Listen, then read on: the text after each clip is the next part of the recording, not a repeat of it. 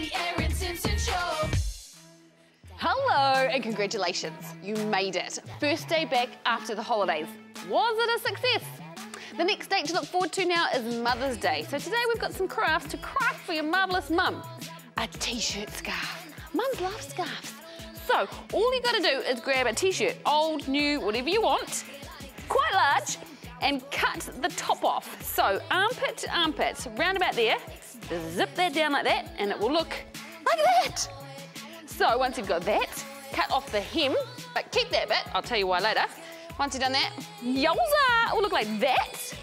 Once you've done this, take your scissors and cut strips, lots of strips down that way, and leave about that much at the end, so don't cut them completely, which will look like this.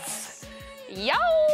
Okay, once you've done that, gather it up down the, he down the seam, and that will leave that. Take your hem that you saved, wrap that round there.